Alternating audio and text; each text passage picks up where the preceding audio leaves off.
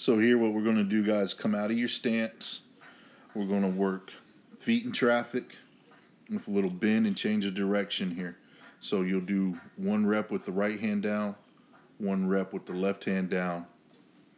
And just make sure we hit that corner, get those eyes around, point those toes, and finish through. Sprint all the way to the end, finish every rep. Be disciplined here. Again, if you don't have step over bags, it's not a big deal. We can use other things. Just set them up so that way we simulate that feet in traffic. All right, so one hand down with the one rep with the right hand down, one rep with the left hand down.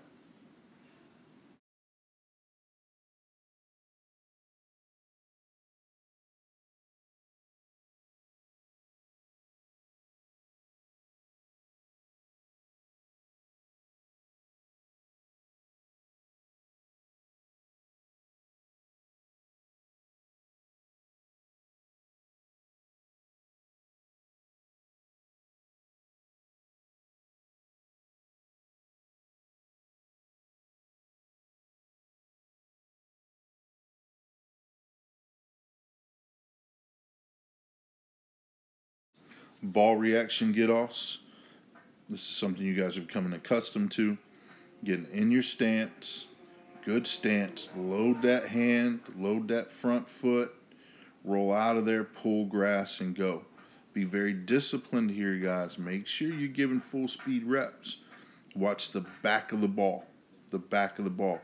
Go 10 reps with each hand down. Tennis ball reaction get offs. Set them cones up five, six yards away, angle them, simulate the edge. All right, have somebody drop that tennis ball. As soon as that ball moves, you explode out of there. We're going 10 reps each hand down. Now, if that ball bounces more than once, you know that's 20 push ups. Be disciplined, full speed here, guys, full speed. Six points of contact, guys. Toes in the ground, knees in the ground, hands in the ground. Explode just with your hips and hands. Drive those hips forward. Create that separation. Five reps here.